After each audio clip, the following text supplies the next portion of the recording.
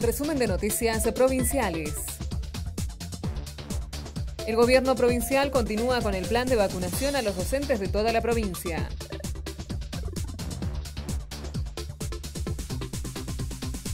Continúa la búsqueda de un joven de 24 años en la capital riojana. Se trata de Cristian Maximiliano Alemán, de 24 años de edad, oriundo del barrio Mirador Sur, falta de su domicilio desde el 5 de abril.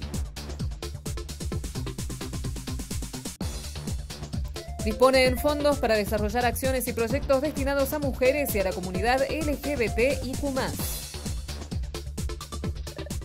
Lanzan programa de asistencia económica para el sector gastronómico independiente. La Rioja en el lote de provincias con mayor porcentaje de población vacunada. Este fue el resumen de noticias provinciales.